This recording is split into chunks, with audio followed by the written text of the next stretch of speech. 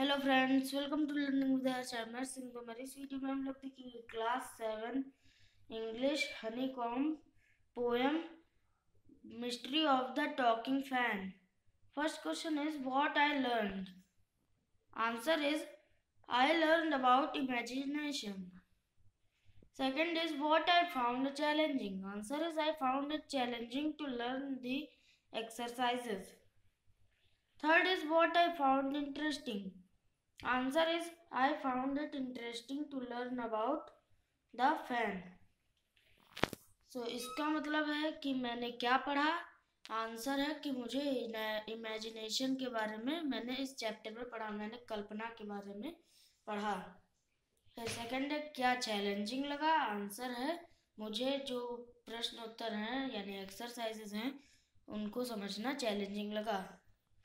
फिर थर्ड क्या इंटरेस्टिंग लगा, क्या मज़ेदार लगा?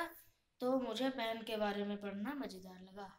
वीडियो अच्छी लगी हो तो लाइक कर दीजिए और चैनल को सब्सक्राइब करके बेल आइकन को प्रेस कर दीजिए और वीडियो को अपने फ्रेंड्स के साथ भी शेयर कर